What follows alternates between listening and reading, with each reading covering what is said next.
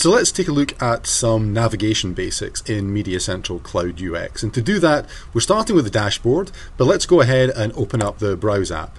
So this time I can see my Media Central production module, and I'm simply going to navigate through to where I've got some footage that I want to use. So you can see here I'm simply navigating through the folders. I could of course open the folder tree here, but I just want to click through the folders to get to where I want to see the footage. If I double click on a clip, it's going to load into my asset Inspector here at the right hand side.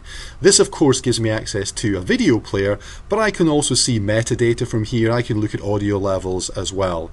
Now of course once the clip is in here, I can come in and of course I could resize the player. That's not a problem.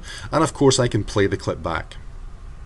I love working in documentaries because I feel like it, can, it has the power to open people's minds. Now here you can see I can go ahead and I can resize the player while the interviewee is talking. I can also scale the screen and you see how the rest of the screen scales automatically with it as well.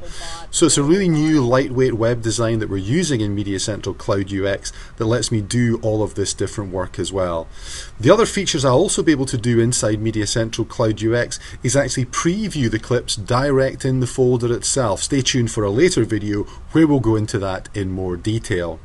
So one of the things about Media Central Cloud UX, as we mentioned before, is how quick it is to switch between different apps depending on what you want to do.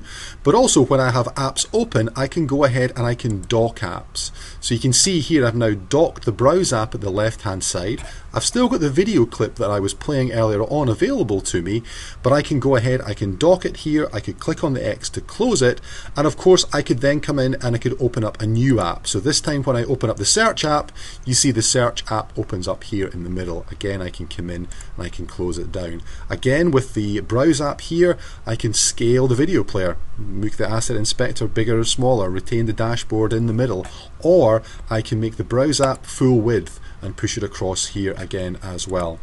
So these are just some of the very basics of navigating around the screen inside Media Central Cloud UX.